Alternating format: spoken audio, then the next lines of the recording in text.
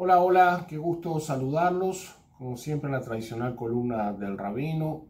Ya de regreso en Panamá y quiero empezar agradeciendo por los mensajes, eh, los llamados, WhatsApp, en las redes, eh, por las felicitaciones, por recibir este doctorado honoris causa en divinidad que me, otorgó el, JTS, Jewish Theological Seminary de Nueva York, por mis 25 años de rabino. Muy contento, una linda ceremonia. Em, así que gracias por, por, los mensajes y las felicitaciones. Esta semana próxima tendremos un, un tenemos invitados a los rabinos Guido Cohen de Miami y Euda Gintelman de Bogotá, con una actividad interesante, un conversatorio preparándonos para Hanukkah el lunes 12, que creo que va a valer la pena.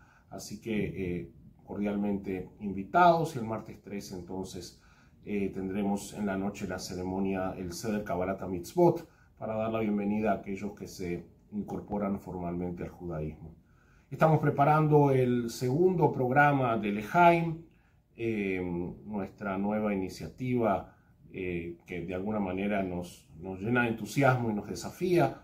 Espero que lo hayan visto el primer programa y como hemos dicho siempre, las propuestas y las sugerencias son bienvenidas. Y estamos también preparándonos para Hanukkah. El 18, el domingo 18, eh, tendremos la, fiesta comunitaria de Hanukkah y el 20 aquí en Costa del Este haremos un eh, encendido público, así que también creo que va a ser una linda oportunidad para venir y compartir aquí con, con todos los eh, vecinos y la gente que se acerca esta bella tradición de prender las velas de Hanukkah. Así que este diciembre nos tiene con, mucha, con mucha actividad, entusiasmado también de ver a los jóvenes ya en la etapa final de cara al Mahaned Arkeino.